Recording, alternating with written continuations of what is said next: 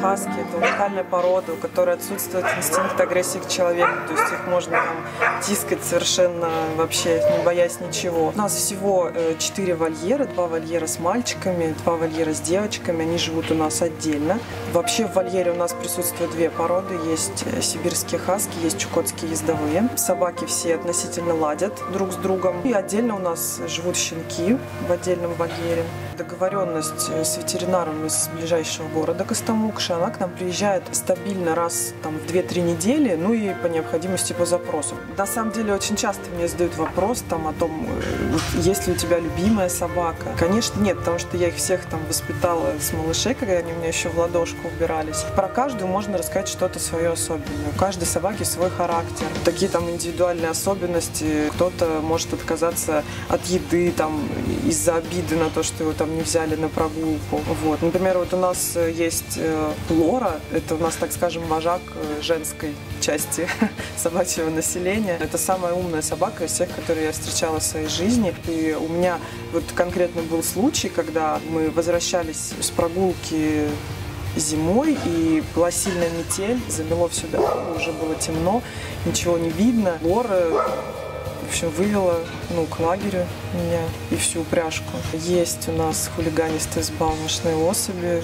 которые часто дерутся. Загри, например, есть там у нас один такой рыжий красавчик для всех групп, то есть неважно, в какой они идут поход, водный, там, пеший, велосипедный, а у них программой предусмотрены занятия с собаками, два часа. То есть они э, приходят, я рассказываю о правилах поведения в вольере, техника безопасности и так далее, и так далее. После этого они заходят в вольер, знакомятся с собаками и выбирают себе собаку, с которой, собственно говоря, хотели бы они совершить прогулку до озера. После этого мы учимся надевать специальное снаряжение на, на собак. То есть ребята все это делают сами.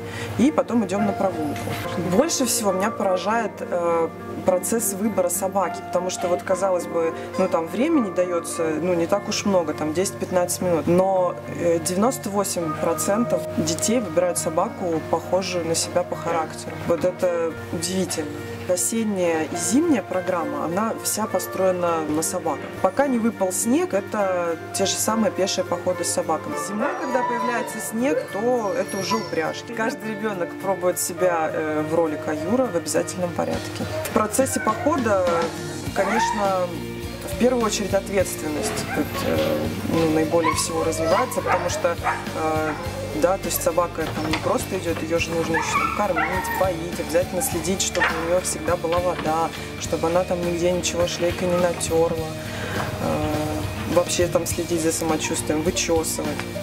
Ну и, конечно, как бы начинается с того, что вроде как дети такие немного шалопаи, ну, приезжают, а после похода вот у них появляется какое-то такое серьезное чувство ответственности за собаку, с которой они выбрали в поход.